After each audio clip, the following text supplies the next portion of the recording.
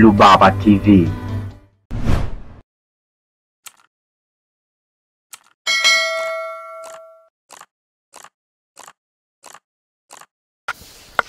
Nini ufanye unapotaka kuwekeza katika kilimo na ufugaji?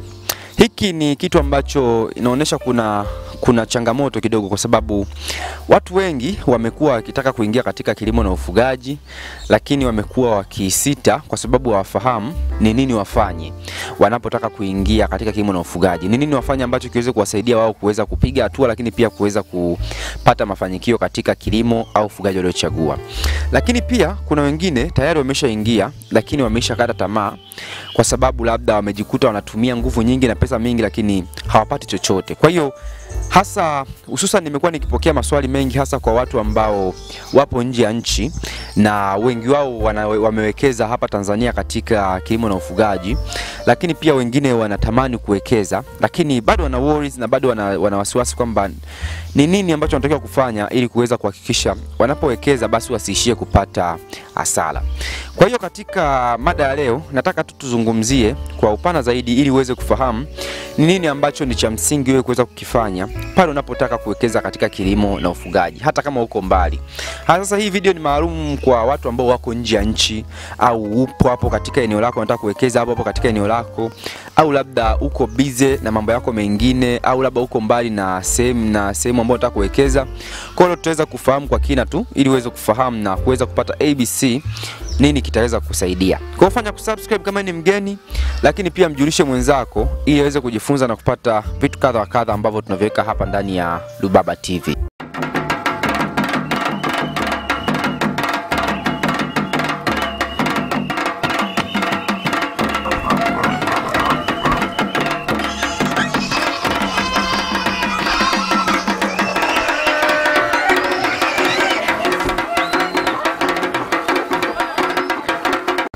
Kitu cha kwanza cha msingi kwanza ni kufanya maamuzi ya nini unataka kufanya, iwe ni ufugaji wa nguruwe, iwe ni ufugaji wa ng'ombe, iwe ni kilimo cha mahindi au kilimo chochote kile. Lazima kwanza wewe kama mtu ambaye unataka kuingia katika kilimo na ufugaji uwe na maamuzi kwa nini ambacho unataka kukifanya. Sasa hapa haijalishi, unaweza ukasema labda nitaamuaje ambacho nini nataka kukifanya huku mimi sijui kuingia katika kilimo. Haijalishi uko wapi. Cha msingi kwanza lazima uwe mfuatiliaji, lazima upate taarifa zote ambazo ni muhimu. Hakikisha unafahamu Tanzania ni kilimo gani ambacho kinafanya vizuri kwa sasa, lakini hakikisha unapata details za kutosha kuhusiana na kilimo tofauti tofauti, aidha kutokana na interest yako au kutokana na kitu ambacho unataka kukifanya kwa muda. Kwa hiyo jaribu kutafuta ushauri kutoka kwa wataalam, jaribu kufuatilia katika mitandao au tafuta namna yoyote ile ambayo unaweza kuhakikisha una taarifa za msingi zote na taarifa za muhimu ambazo zitakupa wewe maamuzi ni nini ambacho utaamua kuinvesti.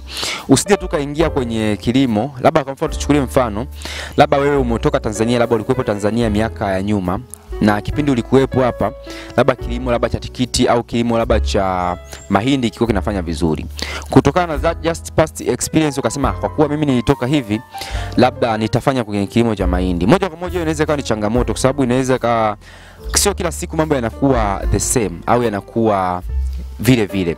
Kwa hiyo lazima uhakikishe unatafuta taarifa ambazo ni genuine na tafuta taarifa ambazo ni za wakati huu, kwamba ni nini ambacho kinafanya vizuri katika hivyo kilimo, ni kipi ambacho unatakiwa kukifahamu, na hiyo itakupa go ahead ya wewe kuweza kuwa na maamuzi mazuri katika kuweza kufanya kilimo au ufugaji. Lakini kitu kingine ambacho pia watu wengi wanakipuuzia mara nyingi, na unajikuta tu mtu anaamua kufanya labda kilimo tu, lakini wengi wanakipuuzia na ni kitu cha msingi sana, ni kufanya utafiti wa kitu ambacho umeamua kukifanya. Kwa mfano labda umeamua sasa kufanya labda tuseme umeamua kufuga ng'ombe, lazima umfanye utafiti ufahamu biashara yani ufugaji wa ng'ombe kwa ujumla ukoje, lazima ufahamu soko lake likoje, lazima ufahamu changamoto zake zikoje, lazima uwe na taarifa ushindani ukoje, lazima uwe na farm procedure zote na na vitu vyote vya muhimu kuweza ku- ku- kukijua kwa kina hicho kitu ambacho unataka kukifanya. Kuwa na maamuzi ni kitu kingine, lakini kukifahamu kwa kina ni kitu kingine na ni kitu cha msingi sana. Kwa hiyo hakikisha unafanya tafiti ya hicho kilimo au ufugaji unaotaka kufanya.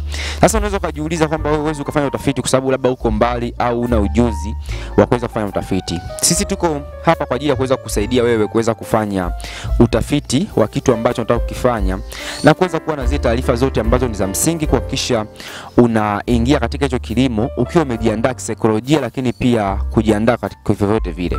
Usije ukaingia tu na kile unachokifanya kinakuwa surprised. Kwa hiyo unaweza kutafuta katika contact zetu hapo, na sisi tutakusaidia kuhakikisha unafahamu kwa kina na tunakufanyia utafiti kuweza kuhakikisha unafanya hicho kitu ambacho umekichagua kwa ufanisi zaidi. Na kitu cha tatu ambacho ni cha msingi pia ni kutafuta watu sahihi wa kuweza kufanya au kuweza kukusaidia kuweza kutimiza hicho kitu chako ambacho unataka kukifanya. Watu wengi nimekuja kugundua kwamba mtu unakuta kwa kuwa labda yuko nje ya nchi anasema tu ngoja nimtumie ndugu yangu kwa sababu naamini ataweza kuni, kunisaidia kuweza kufanya hiki kitu, na mwisho wa siku wengi wamejikuta wakilia kwa sababu wanajikuta wametoa pesa nyingi, lakini hakuna chochote ambacho kimefanyika. Au labda mwingine unakuta yuko busy kazini, anasema kwa kuwa labda mimi namfanya kazi, labda nimwachie tu kwa kila kitu na atafanya vizuri. Mwisho wa siku anakuta wako disappointed. Kwa hiyo kitu cha msingi kwanza, hakikisha unatafuta watu sahihi kuweza kukusaidia kuweza kufanya hicho kitu. Kama ni mtu wa kusimamia shamba, hakikisha unamjua vizuri, hakikisha unajua utendaji wake wa kazi, hakikisha umemfuatilia kwa kina kuweza kumfahamu, lakini pia kuweza kujua kwamba anaweza akawa mtu sahihi. Kama ni watu wa kufanya nao biashara, basi hakikisha unatafuta watu wazuri wa kuweza kufanya nao biashara, ili mwisho wa siku usije ukajikuta umefeli, ukajikuta umetumia pesa mingi, lakini mwisho wa siku kumbe mtu uliyemchagua kufanya naye sio sahihi, na matokeo yake unaishia kufeli. Na hii ni sehemu ambayo inawafelisha watu wengi sana. Mtu anaamua tu kufanya na mtu kwa sababu labda anamfahamu tu au labda kwa sababu ni ndugu yake, lakini kwenye biashara tunachotakiwa kufahamu, kilimo ni biashara na ufugaji ni biashara. Hatufanyi kitu kwa sababu ni undugu au hatufanyi kitu kwa sababu tuna ushikaji au tuna kitu kwa sababu tunafahamiana. Hapana, tunafanya kitu kwa sababu wewe ni mtu sahihi wa kufanya kitu na wewe. Kwa hiyo hicho ni kitu cha msingi sana cha kuweza kuzingatia. Lakini kitu kingine pia ni kwa kuanza kidogo kidogo. Ah, unakuta mtu labda yuko nje ya nchi. Natolea mfano watu yuko nje ya nchi sana, kwa sababu ni moja kati ya watu ambao wamekuwa kiniuliza sana kuhusiana na hili kitu, ndio maana mara nyingi nalifaa huko. Unakuta labda ana, ana mpango wa kuwa na project labda ya shamba la labda lenye ekari kumi na ana, ana plan jinsi ambavyo anataka kuwa shamba lake liwe, na yeye moja kwa moja ana, anaamua kuimplement hicho kitu kwa kuhakikisha anataka kuanza kilivyo. Kwa mfano anataka kuanza na ekalimia, unakuta mtu anataka kuingia moja kwa moja kwenye ekalimia, lakini mwisho wa siku unakuta watu wanamtumia na wanakula pesa zake au wanashindwa kufanya hicho kwa usahihi, kwa sababu wanajua labda yuko busy au labda hayupo, kwa hiyo hakuna chochote ambacho kinaweza kikatokea. Kwa hiyo kama una ndoto ya kufanya kitu, labda una ndoto ya kufuga nguruwe mia, sio lazima uanze na exactly project hiyo ya nguruwe mia. Unaweza ukaanza kidogo kidogo, labda ukaanza robo yake, ukaangalia baada ya muda kama kuna progress zozote, basi ukaongeza kidogo, au kama kuna mapungufu yoyote, basi ukajua chanzo cha mapungufu hayo na namna ya kuweza kurekebisha, then ukainvest. Lakini usiingie tu moja kwa moja, kwa kuwa unataka kufanya hiki kitu kwa ukubwa, basi unaingia moja kwa moja bila kuwa na uzoefu, lakini pia kuwa na watu sahihi na vitu ambavyo tayari nimeisha vitaja. Lakini mwisho kabisa ni kuwa mfuatiliaji. Haijalishi uko mbali sehemu gani, jaribu kuwa mfuatiliaji wa kitu ambacho ni chako au kitu ambacho kinakuhusu. Kama ni shamba au kama ni project yoyote ya kilimo na ufugaji, hakikisha unakuwa mfuatiliaji. Siku isipite hujapata taarifa zozote za msingi kutoka katika project yako. Sasa hivi maisha yamerahisishwa, kuna simu, kuna cameras, kuna video calls, kuna vitu kama hivyo. Kwa hiyo hakikisha japo hata kwa, yani kwa namna kadri unaoweza hakikisha unakuwa unapata taarifa kutoka kwa source tofauti tofauti, ili kuweza kujiridhisha kitu ambacho unakifanya ni kimefikia katika hatua ile ile ambayo unapewa mrejesho, au labda hakijaanzishwa, au labda unaweza ukakuta labda ni kitu ambacho labda hakiendi kwa ustadi na wewe unapewa taarifa kwamba kipo vizuri. Kwa hiyo hakikisha pia unakuwa mfuatiliaji kwa kila hatua, haijalishi uko busy kiasi gani, lakini kama umeamua kuinvest katika kilimo na ufugaji, basi haina budi kuwa mfuatiliaji.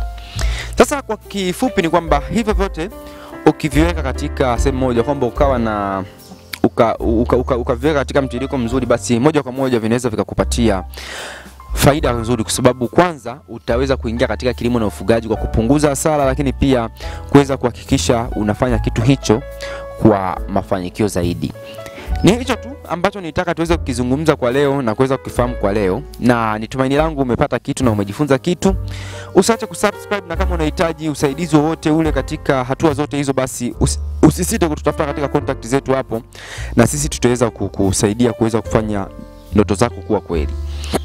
Mimi ni Imani Rubaba na hii ni Rubaba TV. Mpaka wakati mwingine, asante kwa kuwa nami.